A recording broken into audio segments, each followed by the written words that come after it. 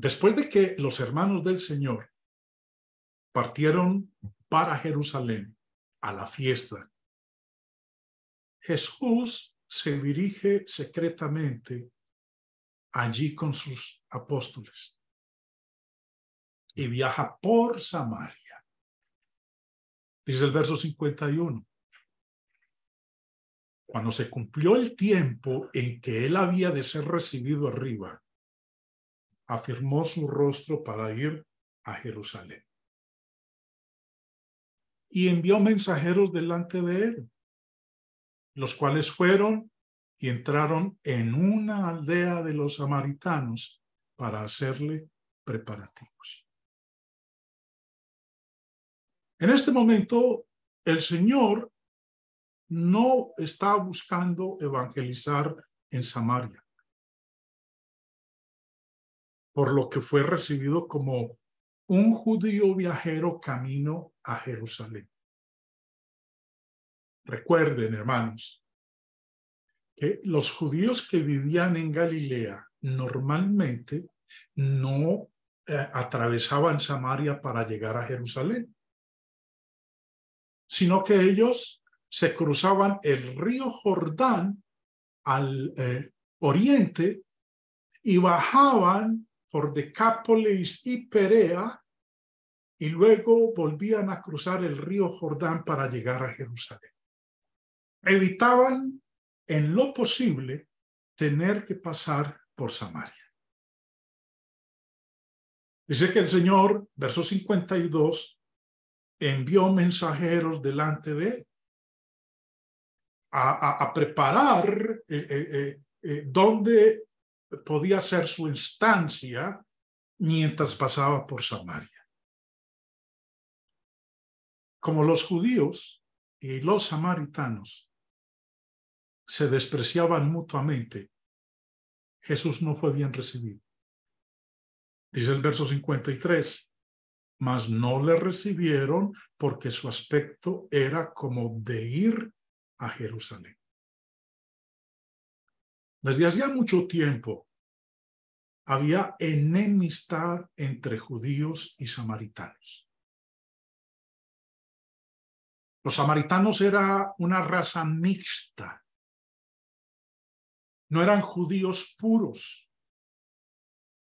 Es más, hace un tiempo atrás, semanas atrás, nosotros estuvimos estudiando acerca de los samaritanos y el origen de ellos. Cuando el reino se dividió en el reino del norte y el reino del sur, el reino del norte quedó con la capital, Samaria, y el reino del sur con Jerusalén. Ambos reinos fueron llevados a la cautividad. Los que se quedaron, los pocos que quedaron, y particularmente en el reino del norte, el reino de Israel, esclavos de otras naciones fueron traídos al reino del norte. Personas de naciones paganas. Y lo que ocurrió fue que los pocos judíos que quedaron se casaron con personas de estas otras naciones y dio origen a los samaritanos, judíos no puros. Segunda de Reyes 27, devolviéndonos un poco en la historia, nos enseña lo siguiente. Y trajo el rey de Asiria gente de Babilonia, de Cuta, de Aba, de Amad y de Sefarbaín y los puso en las ciudades de Samaria, en lugar de los hijos de Israel. Y poseyeron a Samaria y habitaron en sus ciudades. Y aconteció, y aconteció al principio, cuando comenzaron a habitar allí, que no teniendo ellos a Jehová, envió Jehová contra ellos leones que los mataban. Dijeron pues al rey de Asiria, las gentes que tú trasladaste y pusiste en las ciudades de Samaria no conocen la ley del Dios de aquella tierra y él ha echado leones en medio de ellos y aquí que los leones los matan porque no conocen la ley del Dios de la tierra. Y el rey de Asiria mandó diciendo, llevad allí a alguno de los sacerdotes que trajisteis de allá y vaya y habite allí y les enseñe la ley del Dios del país. Y vino uno de los sacerdotes que habían llevado cautivo de Samaria y habitó en Betel y les enseñó cómo habían de temer a Jehová. Pero cada nación se hizo sus dioses y los pusieron en los templos de los lugares altos que habían hecho los de Samaria, cada nación en su ciudad donde habitaba. Vemos entonces el origen de los samaritanos. El reino se dividió por su desobediencia, fueron llevados cautivos, solamente quedaron unos pocos. El rey de, de Asiria mandó pues gente de otras naciones a ocupar este territorio, vinieron con sus dioses falsos, sus dioses paganos, interrelacionaron con los judíos que habían ahí, se casaron, tuvieron sus hijos, una religión totalmente diferente y una enemistad que surgió entre ellos, los medio judíos, que eran los samaritanos, y los judíos puros. Flavio Josefo, el historiador judío del primer siglo, nos dice lo siguiente, son de índole versátil, pues cuando ven que los judíos prosperan, los llaman sus parientes, considerándose descendientes de José y por lo tanto de un mismo origen. Cuando los ven en peligro, dicen que nada tienen que ver con ellos, ni por lazos de amistad, ni de raza, y que se consideran extranjeros domiciliados. A fin de, hermanos, a, fin de formarnos una idea del alcance de la amargura, de la enemistad entre judíos y samaritanos, Flavio Josefo, en su libro Antigüedades de los Judíos, escribió lo siguiente y es bastante interesante para nuestra información. Dice, surgieron disensiones entre los samaritanos y los judíos por el siguiente motivo. Los galileos acostumbraban en los días de fiesta, cuando iban a Jerusalén, a pasar por Samaria. Estando en camino, algunos hombres de un poblado llamado Guinea situado en los límites de Samaria y de la gran llanura, los atacaron y mataron a muchos de ellos. Los principales de los Galileos, cuando se informaron del crimen, se presentaron ante Cumano y le pidieron que vengara a los muertos. Pero él, que había sido corrompido por los samaritanos con dinero, no los escuchó. Entonces los Galileos, indignados, llamaron a los judíos a las armas para defender su libertad. Decían que la servidumbre era ya de por sí muy acerba, pero si se le agregaba la injuria, resultaba intolerable. Los magistrados se esforzaron en apaciguar y aquietar a la multitud, prometiendo que hablarían con Cumano para persuadirlo que castigara a los autores de las muertes. No los escucharon. Tomaron las armas y llamando en su auxilio a Eleazar, hijo de Dineo, un ladrón que por espacio de muchos años había vivido en los montes, robaron e incendiaron varios poblados de los samaritanos. Cumano cuando se enteró, tomó consigo al escuadrón de Sebaste y cuatro cohortes de a pie y armó también a los samaritanos y marchó contra los judíos. Habiéndolos alcanzado, mató a muchos de ellos y a muchos otros los hizo prisioneros. Los principales de Jerusalén, por su nobleza y por los honores, en vista de la magnitud de los males en los que habían caído, vistieron cilicios y se cubrieron la cabeza con ceniza. Pidieron y exhortaban a los revoltosos, puesto que tenían ante sus ojos la patria que iba a ser abolida, el templo destruido y, en fin, las mujeres y los hijos reducidos a esclavitud, que cambiaran de propósito, que depusieran las armas, se tranquilizaran y regresaran a sus casas. Estas palabras persuadieron a los amotinados, los cuales se dispersaron. Y los ladrones regresaron a sus lugares inexpugnables. Pero después de esto, toda Judea estuvo infectada de ladrones. Los primeros de los samaritanos se presentaron ante Humidio Cuadrato, gobernador de Siria, que entonces vivía en Tiro, para acusar a los judíos de haber saqueado e incendiado sus poblados.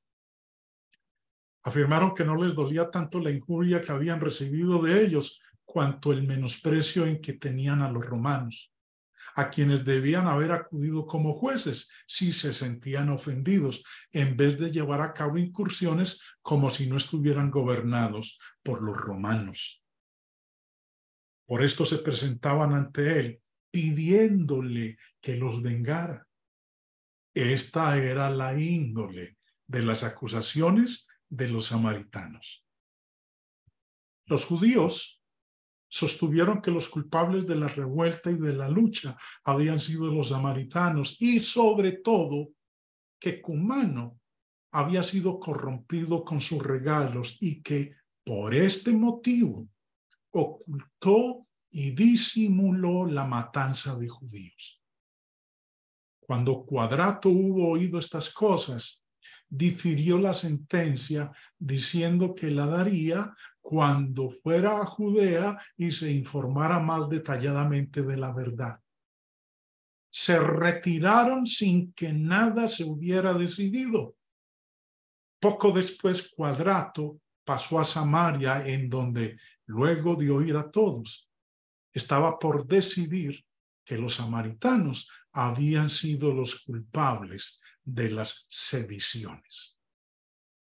Pero al informarse de que algunos judíos habían fraguado una revolución, hizo crucificar a los capturados por Cumán. De allí pasó al poblado llamado Lida, que por su magnitud no cedía en grandeza a una ciudad, se instaló en un tribunal y por segunda vez escuchó a los samaritanos. Uno de ellos le dijo que uno de los principales de los judíos, de nombre Dorto y algunos más, en número de cuatro, ansiosos de novedades, se esforzaban en alejar al pueblo de los romanos. Mandó que los mataran.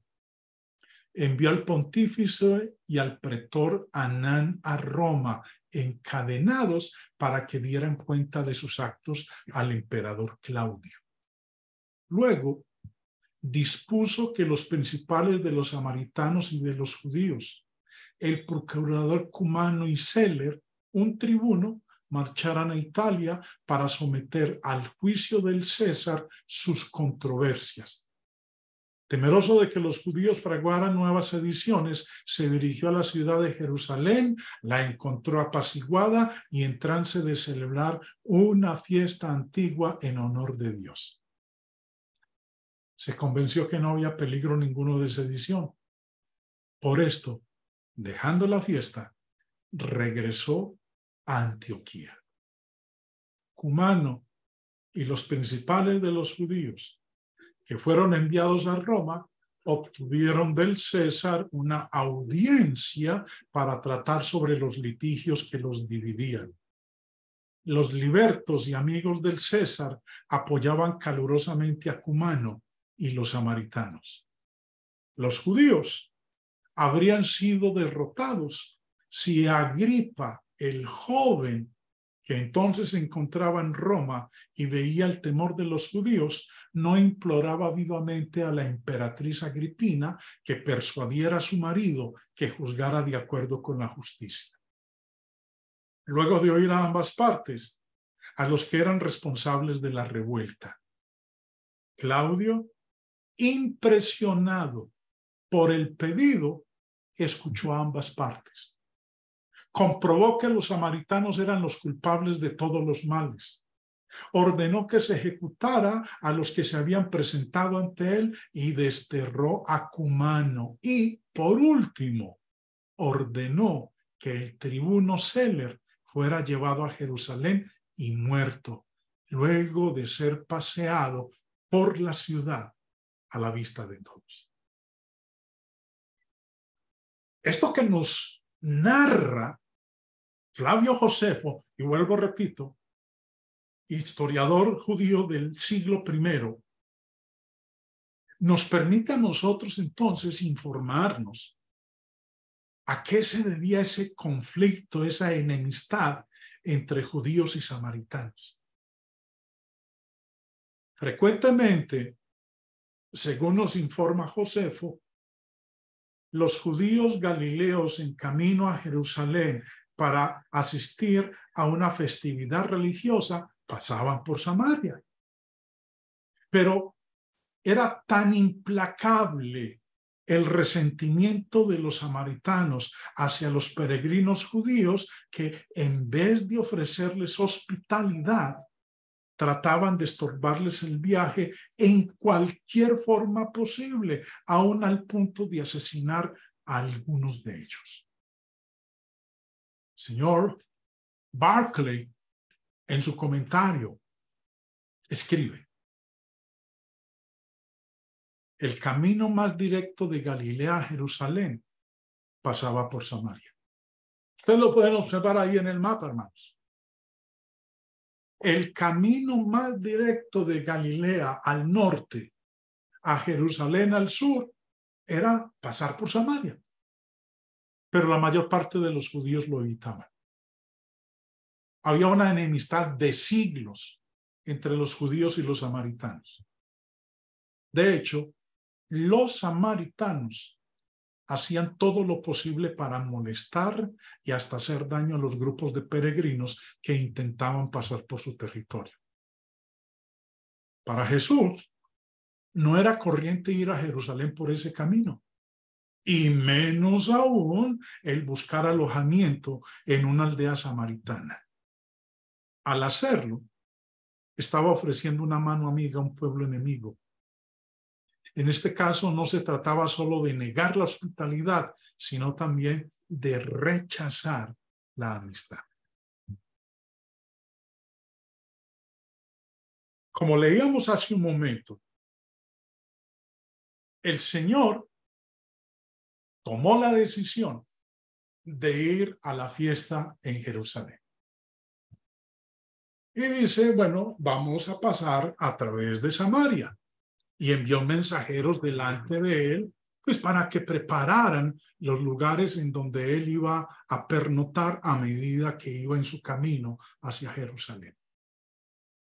Pero ¿qué ocurrió en esta ocasión?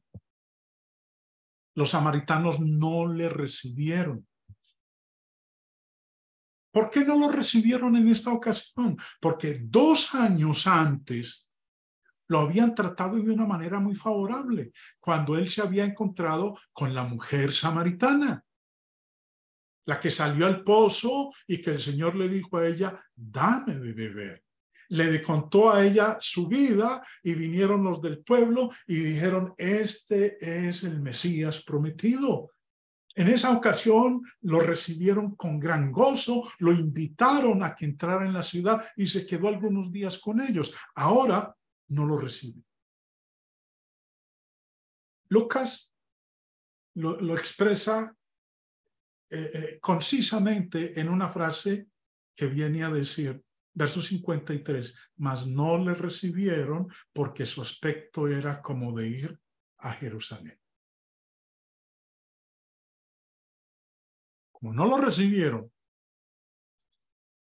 esto les pareció una gran ofensa estos que no recibieron al Señor consideraron que era una ofensa de parte del Señor irse para Jerusalén a adorar, porque ellos creían que el lugar de adoración era en Samaria, en Jericín. Santiago, el apóstol Santiago y Juan, al ver la mala acogida que recibió el Señor, le hacen una pregunta. Viendo esto sus discípulos, Jacobo y Juan dijeron, Señor, ¿quieres que mandemos descienda fuego del cielo, como hizo Elías, y los consuma? Querían hacer lo mismo que había hecho Elías en el pasado. Nosotros leemos de ese evento en Segunda de Reyes 1. Es más, refresquemos la memoria. Luego envió a él un capitán de 50 con sus 50, el cual subió a donde él estaba. Y aquí que él estaba sentado en la cumbre del monte. Y el capitán le dijo, varón de Dios, el rey ha dicho que desciendas. Y Elías respondió y dijo al capitán de 50, si yo soy varón de Dios, descienda fuego del cielo y consúmate con tus cincuenta. Y descendió fuego del cielo que lo consumió a él y a sus cincuenta. Volvió el rey a enviar a él otro capitán de cincuenta con sus cincuenta y le habló y dijo, varón de Dios, el rey ha dicho así, desciende pronto. Y le respondió Elías y dijo, si yo soy varón de Dios, descienda fuego del cielo y consúmate con tus cincuenta. Y descendió fuego del cielo y lo consumió a él y a sus cincuenta.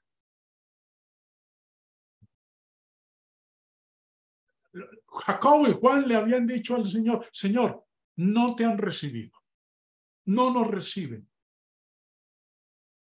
¿Qué actitud tan deplorable? ¿Quieres que mandemos que descienda fuego del cielo como hizo Elías y los consuma? El ejemplo de Elías no venía al caso, porque Elías había sido enviado a desplegar los terrores de la ley, mientras que ahora se inauguraba la era del Evangelio, a la cual no le cuadraba el alarde de venganza de la justicia divina. Entonces el Señor les reprende les dice en el verso 55. Entonces volviéndose él, los reprendió diciendo, vosotros no sabéis de qué espíritu sois. Aquí Jacobo y Juan muestran que merecían el apodo que ellos habían recibido, el de Boanerges, hijos del trueno, porque estaban dispuestos a castigar a los samaritanos que no habían mostrado hospitalidad.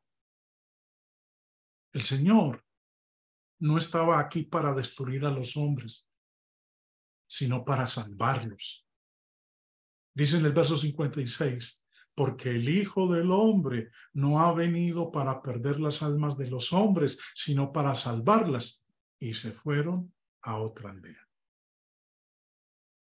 El, Señor Jesucristo no solo no castigó a los samaritanos aquellos por su rudeza y descortesía, sino que se marchó de una manera tranquila, pacífica, a otra aldea donde la gente no fuera hostil. Con esto, hermanos, el Señor nos enseña a no desanimarnos por el mal recibimiento que podamos tener en algún lugar, sino a buscar otro lugar donde nuestra labor tenga una mejor acogida. En la lección de mañana vamos entonces a entrar a la fiesta de los tabernáculos en Jerusalén. Señor ya llega a Jerusalén y se va a conmemorar esa fiesta que el Señor ha mandado. Pero de ella hablaremos en la lección de mañana. Dios le bendiga, mis hermanos.